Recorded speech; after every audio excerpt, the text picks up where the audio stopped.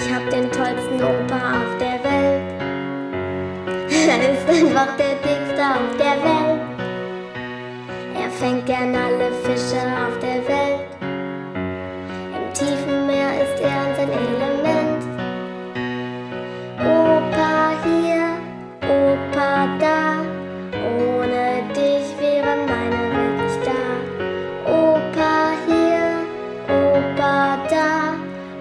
dich wäre meine Mama nicht da. Ich hab den tollsten Opa auf der Welt. Er ist einfach der dickste auf der Welt.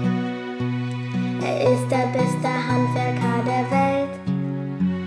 Doch Kochen ist wohl nicht so sein Talent. Opa hier, Opa da, ohne dich will